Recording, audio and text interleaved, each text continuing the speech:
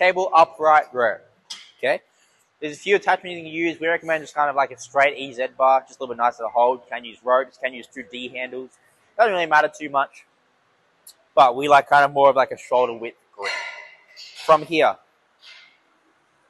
Jade's going to step away from the cable to allow that when he comes back to his starting position, being this, the weight's not going to bang and clang at the bottom every time. Okay. From here, he's going to think about bringing his wrists up towards his shoulders while flaring his elbows.